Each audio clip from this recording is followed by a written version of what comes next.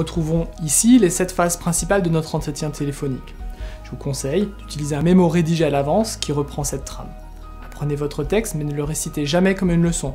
Évitez les mots comme problème, danger, retard, petit, dépense et préférez succès, gain, efficacité, sérieux, économie. Votre message doit éveiller la curiosité et l'intérêt, susciter le désir, donner envie et surtout solliciter l'adhésion du client. Voici ce que nous pourrions dire. Bonjour madame, Jessica Arnaud de la société Copy France. Je souhaite joindre monsieur Hachette. Est-il disponible? Nous nous sommes ratés au salon des entrepreneurs sur lequel vous étiez présent et je souhaite l'avoir en ligne, merci. Monsieur Hachette, merci de prendre l'appel.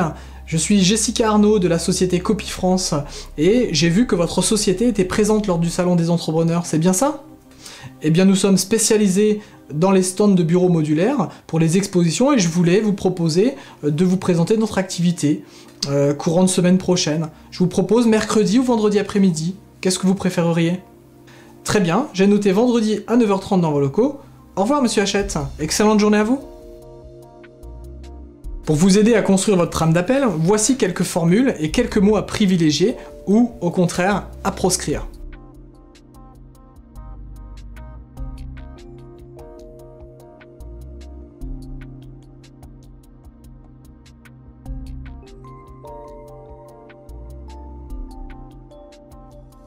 L'exercice est d'autant plus délicat que vous ne voyez pas la réaction de votre prospect, votre interlocuteur.